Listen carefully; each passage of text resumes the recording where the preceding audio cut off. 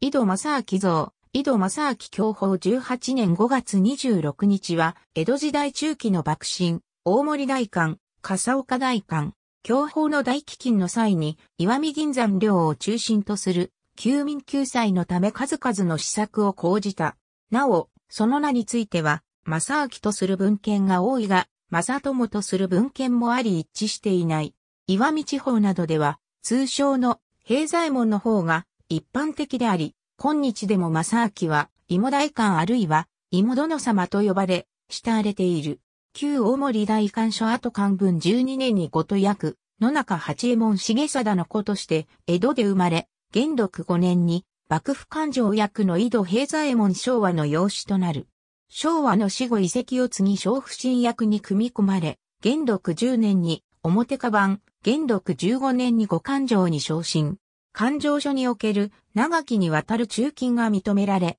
享保16年9月13日、60歳にして、第19代大森大官に着任し天領の銀山領6万国を支配した。直後に、笠岡大官も兼務。この年、享保の大飢饉による領内の窮状を目の当たりにし、領民たちを早急に救うため幕府の許可を待たず、年貢の減免、年貢米の放出、商人から寄付金を募り、さらに換金や資材の投入などを断行した。翌享保17年4月、正明は岩見国大森地区の堺戦時で、薩摩国の僧である広常から、薩摩芋が休耕食物として適しているという話を聞き、種芋を移入した。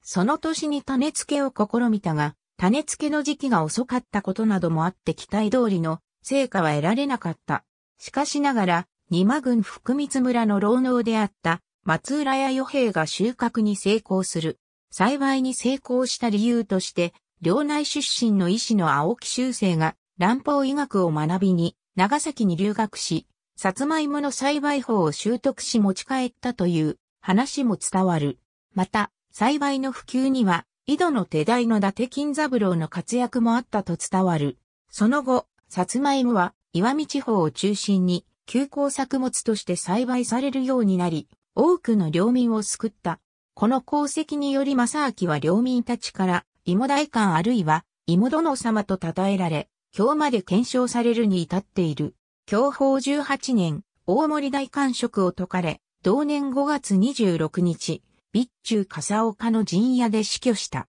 死因については、休校対策の激務から過労により病死したとする説と休校対策のために幕府の許可を待たず独断で年貢米の放出などを断行したことに対する責任から切腹したとする説の二つがあるという。墓所は笠岡の糸くじにある。正明の死後、岩見地方を中心に近隣各地さらには増田市沖の高島にまでも聖徳碑が建てられた。大田市大森町には正明を祀る井戸神社がある。広島県昭原市高町の昭屋の生まれ、享保18年4月23日、止め付けとして幕臣に取り立てられ、江戸に手勤め、後帰郷、ありがとうございます。